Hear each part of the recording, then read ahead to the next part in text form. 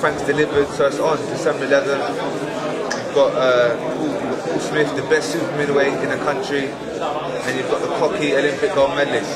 So uh, it should be good. It should be a great, great fight, uh, and I'm looking forward to it. People are going to ask, aren't they? You've only- had eight fights. They're going to say, this is fight too soon for you? What's your response to that? My answer is we'll see on December 11th. Uh, say uh, I train very, very hard. I've done the 12 rounds in the gym before, so no one has to worry about my fitness. Uh, I'm very, very confident in my ability that I am going to come up victorious on the night. Paul Smith is a, is a tough and rugged kind of customer. Do you think he's going to give you a hard fight, or are you going to be a couple of Definitely, definitely. This is uh, this is a step up. It's a, it's a big, big step up. But I think I'm ready for the step up.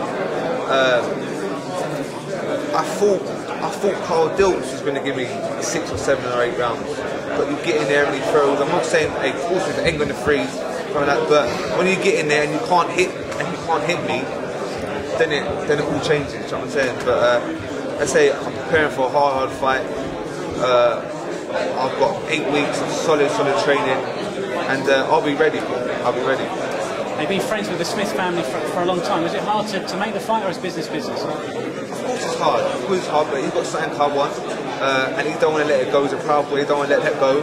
Uh, but business is business, and uh, on, I think we're two. I think we're two big boys, and I think on December the 11th we can stick our friendship aside for 36 minutes, and all guns blazing after. It's all the same on my part anyway.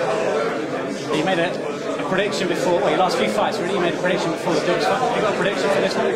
Uh, listen, you know, I'm not going to call around, I'm not going to say time, but all I know is I'm going to win. And the new, that's what's going to be said on December 11th.